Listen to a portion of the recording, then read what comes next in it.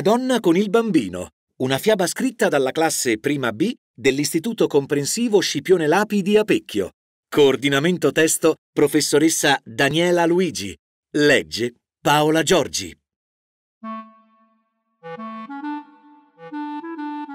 C'era una volta, tanto tempo fa, un giovane amante delle arti di nome Raffaello che risiedeva nella città di Urbino. Abitava in una casetta su una collina piena di prati con fiori colorati e alberi fioriti. Lui indossava vestiti stravaganti, ma allo stesso tempo personalizzati con gusto. Era il pittore più bravo del ducato di Pesaro Urbino. Un giorno, mentre svolgeva una commissione a Fano, fu raggiunto dal conte Brancaleoni, che dominava fino alla valle del Meta e dell'Auro, il quale gli inviò la seguente lettera. Signor pittore, pieno di fantasia e bravura, la prego di venire qui nel mio castello, in questa dolce valle tra il Monte Nerone e l'Alpe della Luna, per dipingere un bel quadro della famiglia al completo.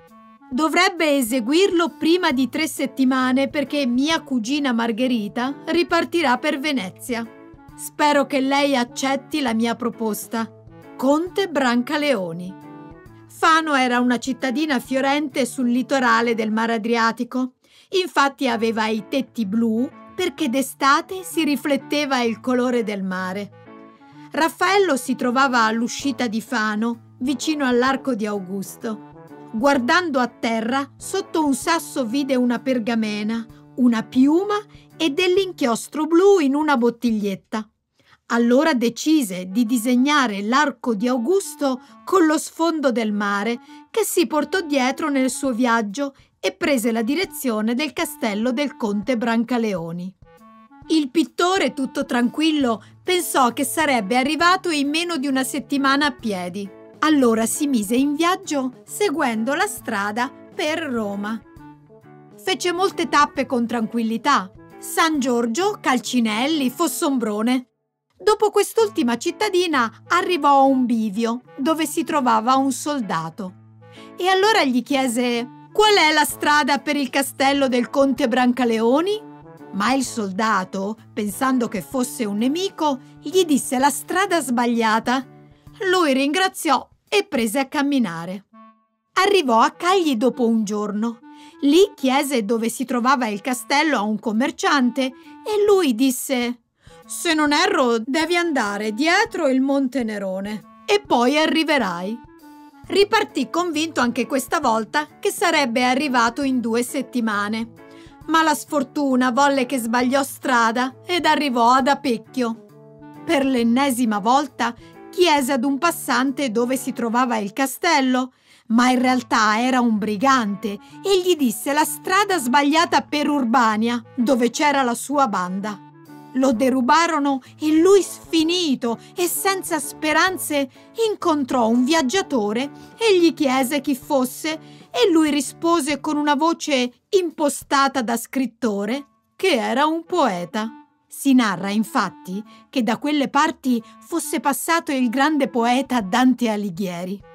Egli era vestito con un cappello con sopra una penna d'uccello, una maglia dipinta di tutti i colori possibili e dei pantaloni lunghissimi.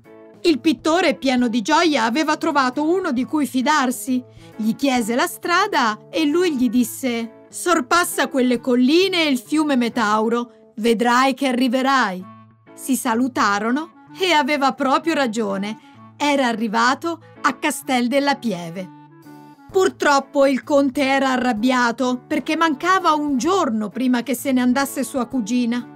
Lui raccontò delle strade sbagliate, dei briganti. Il pittore dipinse il quadro nel poco tempo rimasto. Finito il quadro, il conte Brancaleoni lo osservò con molta cura e si stupì per la bravura di quel giovane pittore ma avido com'era di arricchire il suo castello, gli chiese un altro quadro entro sei ore e aggiunse Se ce la farai potrai vivere al mio palazzo. Raffaello pensò e ripensò a quello che aveva detto il conte e invece di fare il quadro in fretta e furia decise di cercarlo. aveva sentito delle voci che nelle zone di Mercatello c'erano delle rovine che nascondevano un quadro di grande valore. Partì per Mercatello e con grande sorpresa trovò delle rovine di un vecchio castello abbandonato. Allora entrò nei ruderi. Tra tutte le rovine c'era un'ampia stanza, ma sul muro mancavano dei mattoni di travertino a forma di un'enorme porta posizionò un cristallo che il re gli aveva regalato come ricompensa al primo quadro. Il sole lo riflesse e si videro i raggi di colore bellissimi in direzione di vari paesi. Fano era tutta blu perché c'era il mare che d'estate diventava tutto azzurro. Fossombrone era verde perché i fiori sui terrazzi fiorivano tutto l'anno. Urbania era gialla perché i raggi del sole battevano su di essa. Sant'Angelo in Vado era rosso perché in primavera fiorivano rose rosse. Castel della Pieve era arancione perché era il colore del regno. Mercatello era viola perché d'inverno nascevano le violette in tutti i boschi circostanti. Borgo Pace era marrone perché durante l'autunno le foglie dei boschi diventavano marroni e poi cadevano a ricoprire la terra. L'Alpe della Luna era bianca perché d'inverno si ricopriva di neve e in primavera di fiori bianchi, i bucaneve. Raffaello si mosse verso la direzione di questi raggi e a ogni suo passo scorse una pietra con delle scritte.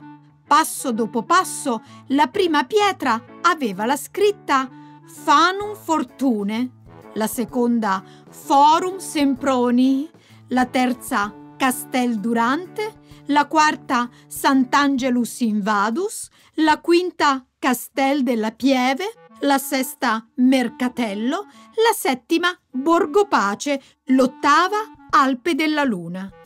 Aveva ricostruito tutto il percorso lungo i fiumi Metauro e Candigliano ai lati della valle di Bocca Trabaria. Prese le pietre, le girò e con grande stupore si accorse che erano dipinte le unì seguendo il percorso come in un puzzle, percorrendo il percorso dei fiumi e vide che il disegno era la Madonna con il bambino e nello sfondo c'era tutto il paesaggio di Urbino e del Montefeltro. Con grande entusiasmo Raffaello portò il quadro composto al conte, che rimase estasiato e stupito dalla bellezza del dipinto. Il conte mantenne la sua promessa e fece restare Raffaello presso la corte, assumendolo come pittore di corte. I sudditi, dopo quel giorno, porteranno da ognuno dei paesi le polveri di colore necessarie per dipingere tanti altri quadri. Raffaello, oltre agli altri suoi dipinti, rifarà l'originale Madonna con il bambino, che da quel tempo è stata esposta nella chiesa di Borgo Pace.